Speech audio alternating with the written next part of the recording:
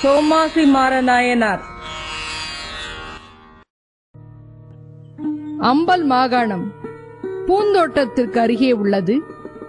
அந்த ஊரிலே அந்தனர் குலத்தில் தோன்றியவர்தான் சோமாசீரமார நாயனார் இந்த அந்தணர் பயன் புகழ் கருதாமல் உலக நன்மை ஒன்றையே கருதி நமச்சிவாயம் மோதி சிவாக்னி வளர்த்து வேள்வி செய்தார்.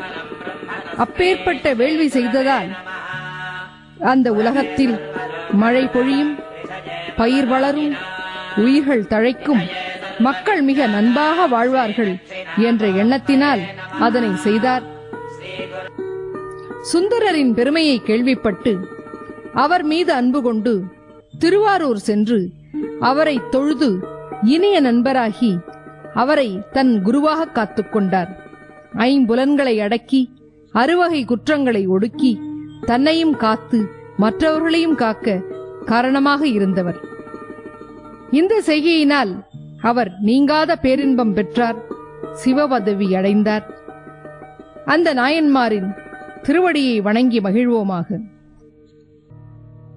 சோமாசி மாறனார் தன் மனைவியுடன் இருந்து சிவபெருமானை போற்றும் திருவேள்வி செய்தல் இந்த சிற்பத்திலே உயர்ந்த ஆசனத்திலே அமர்ந்து வேள்வி செய்கிறார் நாயனார். அவருக்கு எதிரே தீயினை வணங்கும் நிலையிலே கூப்பிய கைகளுடன் மற்றொரு ஆசனத்திலே அமர்ந்திருப்பவர் அவருடைய மனைவி. இந்த இருவருக்கும் இடையே வேள்வி குண்டத்தில் வேள்வி தீ சுடர்விட்டு மேலோங்கி எழுகிறது.